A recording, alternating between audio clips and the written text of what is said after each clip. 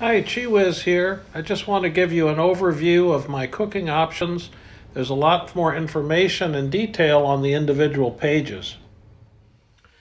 So let's look at all the cooking options that I have available. The first one I'll mention is the FireFly stove, which is basically a wood-burning stove to burn twigs and other small burnables that you find, like pine cones and things like that weighs just 2.8 ounces, has these optional small pot supports that are useful if you're using a, uh, a pot like a beer can pot like this one that just uh, needs a little bit more stability and doesn't span the stove's pot supports. Most pots, though, anything up to an uh, 1.3 liter Evernew size will fit just fine on these without any pot supports. There's also a grill which you can use with or without the pot supports to grill a steak, hamburger, maybe uh, some things on skewers, and that's a really nice option for you.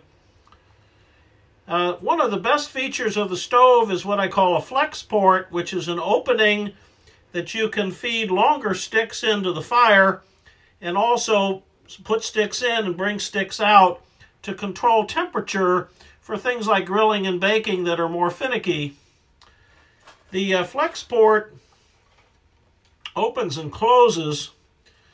So if you want a, just a quick chimney fire to boil water, you're probably going to close the flex port and then you get a really nice draft up through the fire through the uh, stainless steel mesh bottom. In terms of burners, I have two different kinds. One is the regular DualFuel, calling DualFuel because it burns alcohol on this side with a carbon felt wick.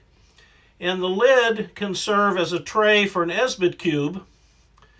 And in addition to the regular DualFuel, I have the DualFuel XL, which works well for larger pots where you're heating up more than a couple cups of water.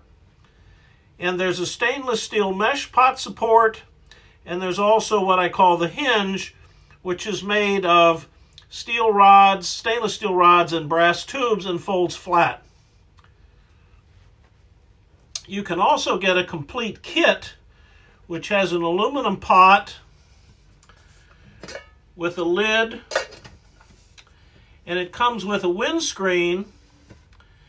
I have nine sizes, actually, these windscreens. All of them have holes on one side and no holes on the other side. This is the side that goes into the wind, and then the air can still come in through the uh, holes on the other side.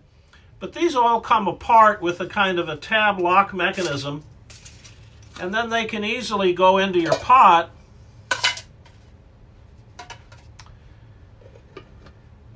and be carried nicely. Speaking of Esbit, I have a system I call the Ultimate Esbit System, which has a fire ring and base. The fire ring holds an Esbit cube, and it can be oriented to burn the Esbit cube at regular speed for full heat or at half heat for twice as long.